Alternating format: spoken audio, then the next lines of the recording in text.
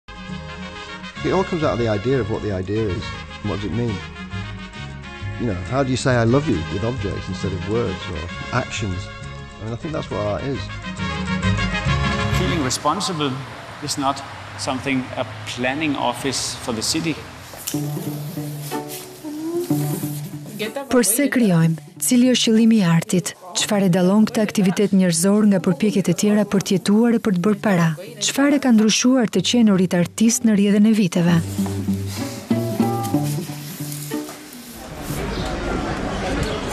Skena e vogël e artit bashkëkohor në Shkodër i shtron këto pyetje për të marrë përgjigje nga ekrani i artit. Një binjakëzim i Festivalit të Filmit Dokumentar Lo Schermo dell'Arte në Firenze.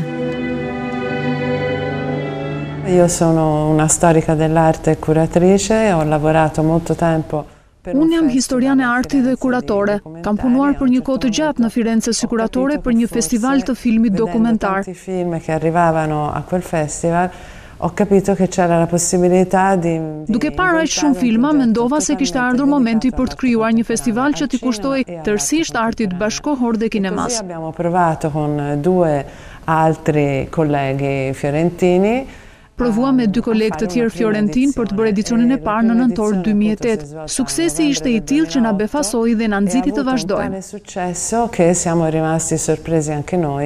E comunque quello è stato la spinta per continuare. Kjo është vepra e artit më e shtrenjtë që është krijuar ndonjëherë, 50 milion pound, për dashurinë zot, një kafkë me 8601 diamante e krijuar në vitin 2007. Damien Hirst dekoron vdekjen, frikën e tij ndaj vdekjes. Me fjalë të tjera, Arti është optimist edhe kur flet për gjëra të zymta. Hirst është vazhdues i traditës së Andy Warhol-it, që biznesin e mirë e konsideron si artin më të mirë. Tek ai ballafaqohen artisti dhe celebrity. Ai ka bindjen se kur ke mjaftueshëm para, idetë janë edhe më madhështore e më të shkëlqyeshme.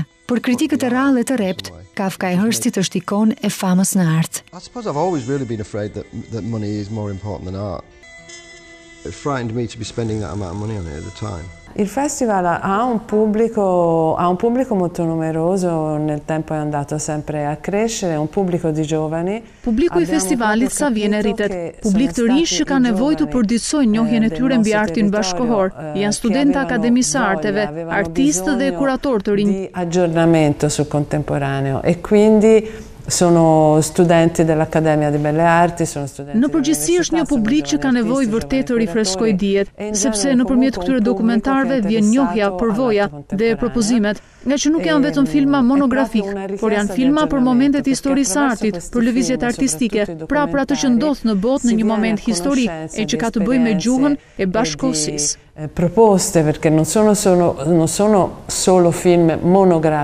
Për Firencen kjo është shumë e nevojshme sepse nuk ka muze të artit bashkëkohor dhe ato pak propozime nuk mund të kënaqin nevojën që ekziston. e alle piccole proposte non sono sufficienti a soddisfare questa necessità. Të krijojmë një dialog me me qytetin, krijojmë një dialog me komunitetin, edhe dalja nga shpia, pra jo thjesht hapja e shpisë për njerëzit që vijnë në aktivitetet tona, po dhe dalja nga shpia duke kriju momentin e këtij festivalit që ku filmat shfaqen kryesisht në Kinema Millennium, është një, si t'thush, shkon në vazhdën e kësaj tendencës që ne kemi për të kriju këto lloj ura komunikimit.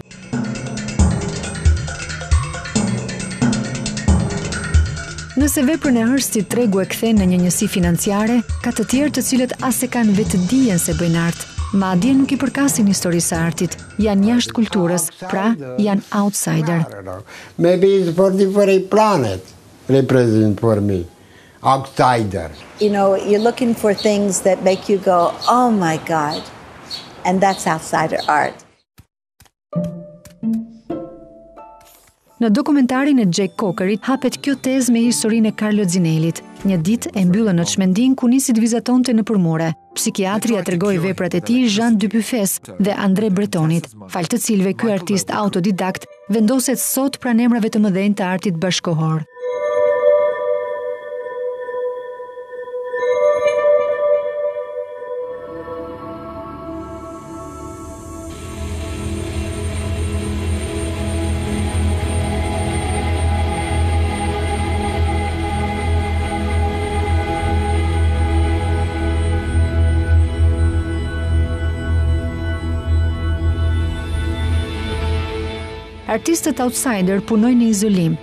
Çlirojnë kujtimet dhe mbërrijnë paqen e brendshme që psikiatria nuk ua përmbush dot.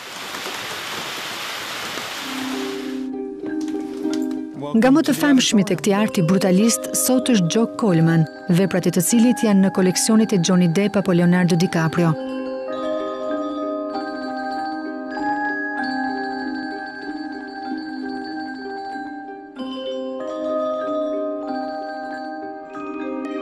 At home, it was really pretty fucked up because, you know, my father was a pretty violent alcoholic.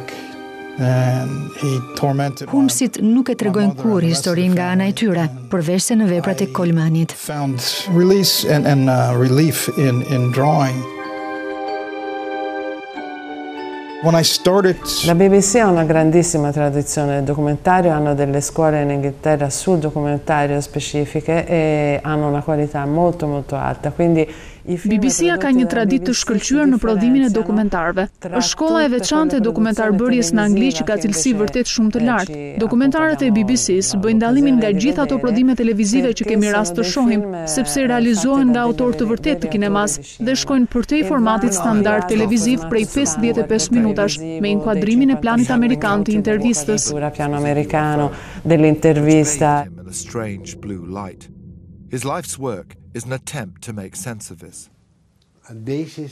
Është një qasje shumë interesante, ku nuk ku celebrohet arti pa u celebru Artistët si figura profesionale, por si njerëz që kanë pasione të mëdha, kanë fantazi të mëdha, kanë dedikim, kanë obsesion të madh.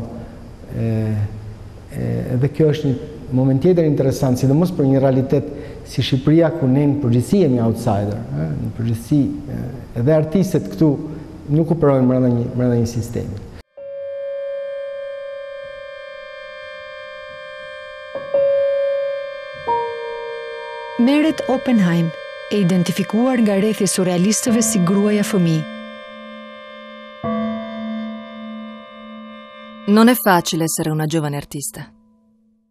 Kujt nuk i ka ndodhur të shohë nudon e saj androgjene mes mekanizmash, sipas përfytyrimit të Man Rayit në Parisin e viteve tridhjetë?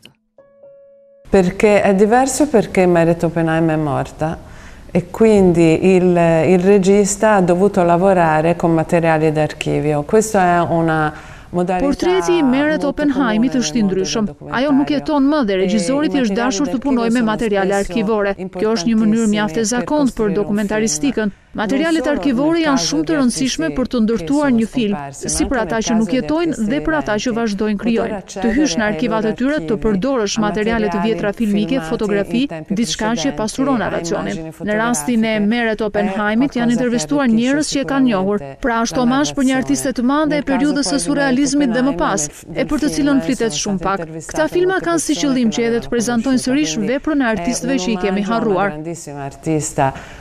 del, del, tempo del surrealismo e dopo, di cui forse si parla troppo poco. Quindi questi film hanno anche, secondo me, eh, questo obiettivo, quello di eh, ripresentare il lavoro di artisti di cui appunto ci siamo forse dimenticati. All'esposizione quell'oggetto fece immediatamente scalpore. Një artiste që e merr seriozisht ëndrrën, sepse bota jonë, e mbrujtur me racionalitet, shumë gjëra i lë pa përgjigje. Mëngjesi me Gëzof është aplikimi i idesë së Duchampit për të rikonceptuar objektet e përditshme.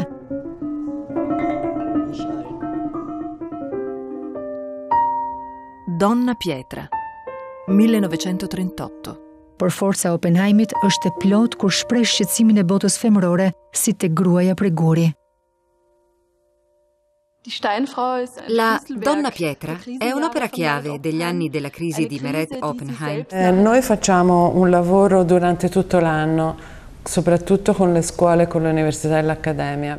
Gjatë gjithë vitit ne punojmë me shkollat, universitetin dhe akademinë. Publiku ynë është i interesuar më shumë për artin bashkëkohor se sa për kinemanë. Prandaj shkojmë në vendet ku formohen studentët e artit bashkëkohor, pra artistët e rinj.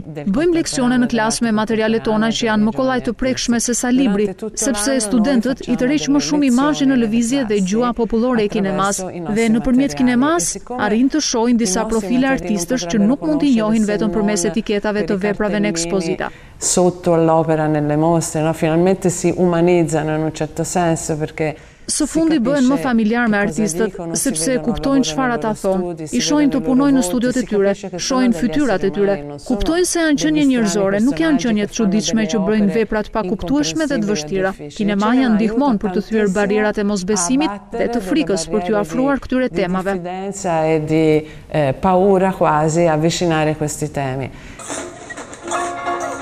One of the things that's essential for the work to happen, there needs to be a, a heating, a heating up, bringing something to a boil.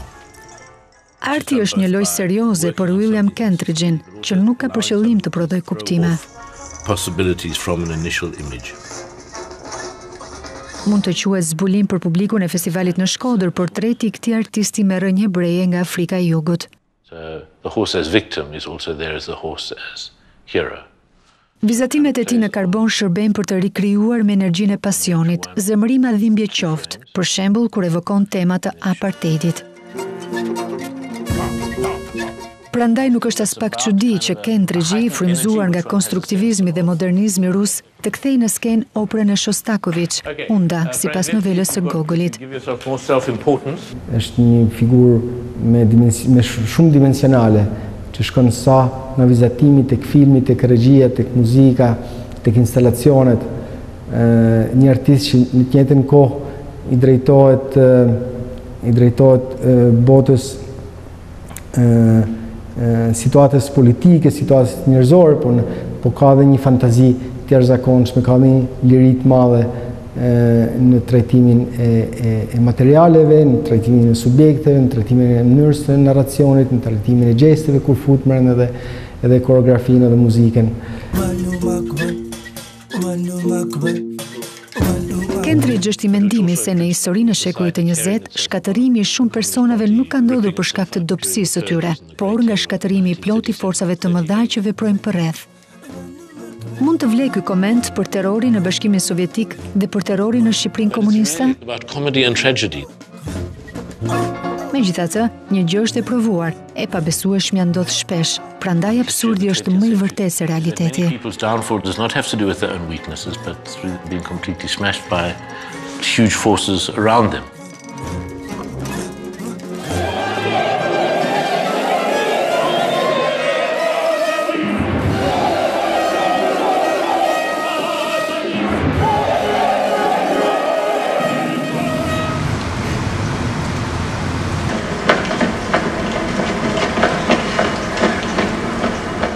Nuk mund të mungonte Anri Sala. Filmi i tij, një mijë e treqind e nëntëdhjetë e pesë ditë pa të kuqe është shfaqur tashmë në ekranin e artit në Firence dhe vjen premierë në Shkodër. È un vero film e secondo me uno dei film più importanti che ho visto in questi anni ultimi. Filmi i Salës është film i vërtetë, nga më të mirët që kam parë vitet e fundit, shumë ekspresiv, i ndërtuar me një narracion shumë të thjeshtë, pa fjalë. Ka një pjesë muzikore të rëndësishme si në të gjitha veprat e Anri Salës. Tepër poetik, film që trajton një aktualitet të largët sepse flet për rrethimin e Sarajevës, por ajo duket si luftë e ditëve tona, shumë afër nesh, i flet kohës tonë. Sipas meje ajo që e bën interesant është vështrimi magjepsës i artistit që flet për dramën pa e shfaqur atë. Di Sarajevë Sarajevo e dell'assedio di Sarajevo, quindi una guerra dei nostri giorni si può dire perché è molto vicina a noi. E, e quindi è un film che appartiene al nostro tempo, però è lo sguardo dell'artista sulla guerra che è, che è affascinante secondo me perché parla del dramma senza rappresentarlo.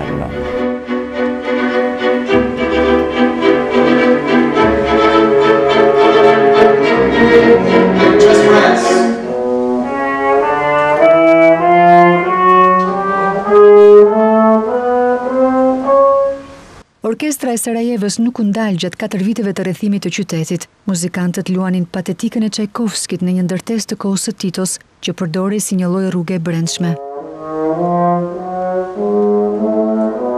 Të gjithë kalimtarët vijnë ose shkojnë drejt kryqëzimeve të snajperëve.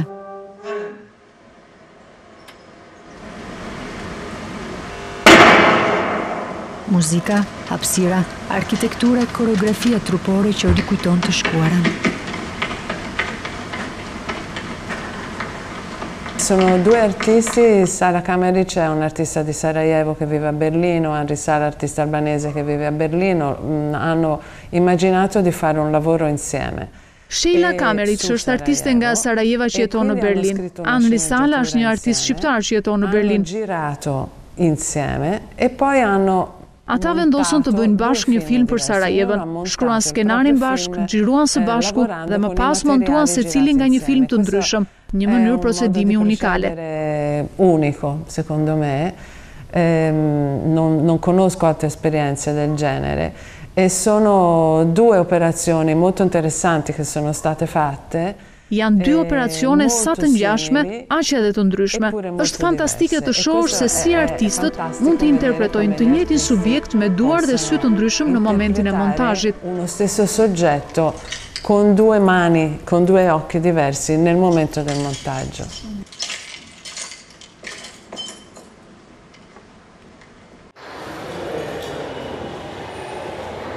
Olafur Eliasson është tipi i artistit filozof. Ekspozitat e tij nëpër botë janë një festë e hapësirës, pasqyrave, gjysmësferave po aq edhe e gjuhës me të cilën të rrethojnë veprat e tij të shpërndara në hapësirë. So in order to look into the transformation how does a space change when I feel it I went beyond phenomenology a little bit and I looked into something as crazy as animism.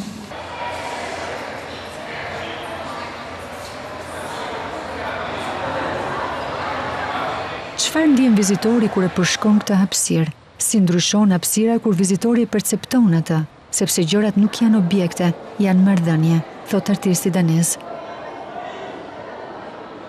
Të kuptosh këtë do thotë të nxisësh tek njerëzit ndjenjën e përgjegjësisë kolektive për hapësirën. Ja një përgjigje tjetër përse bëhet art. But what is maybe more important is to find out why to make art and why on earth to make art and what's the consequences involved with making art. Unë mendoj që në përgjithësi punët e kulturës nuk bëhen me ngut. Punët e kulturës nuk bëhen me evente që kërkojnë të sjellin transformime rrënjësore me një event. Ë kultura është si të thosh ajo fara që ti e hedh, pastaj e kultivon, pastaj pret, pastaj ndodh diçka, duhet të ndrosh ë qasjen ndaj saj, është është si thosh është një është një trup i gjallë që ka nevojë për për kujdese të vazhdueshme. Not that I'm not optimistic, because I think I am, but, but still, the future is just so, so unbelievably abstract.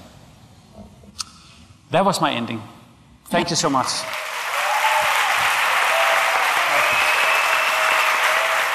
Thank you. Thank you so much.